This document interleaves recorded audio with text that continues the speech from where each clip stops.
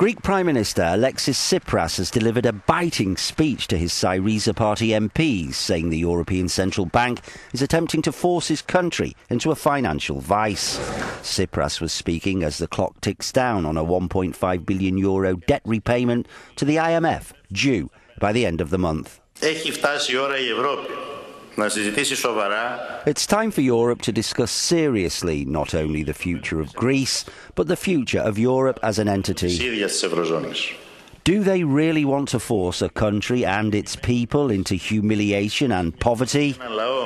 Or do they wish to find a common ground and open the way to consolidate democracy and solidarity across Europe?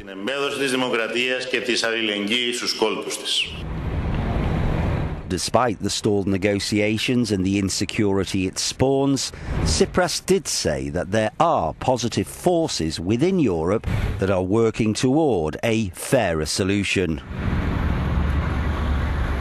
Our correspondent in the Greek capital says. As time is running out for Greece, Alexis Tsipras is under immense pressure from both the country's lenders and his far left MPs, since any agreement between the Athens government and its European partners will have to get the seal of approval from the Greek parliament. από την Αθήνα για το Euronews, Σταμάτης Γιάννησης.